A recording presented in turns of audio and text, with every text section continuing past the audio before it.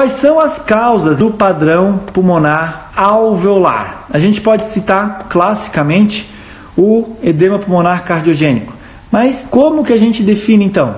É um conjunto da obra. Você tem que ter um coração normalmente aumentado, em gatos não necessariamente, mas em cães mais comum é ter um coração esquerdo aumentado, uh, principalmente com uma dilatação do átrio esquerdo e um padrão hipervascular. Então, para caracterizar o edema pulmonar cardiogênico, você normalmente tem que ter isso, é o conjunto da obra.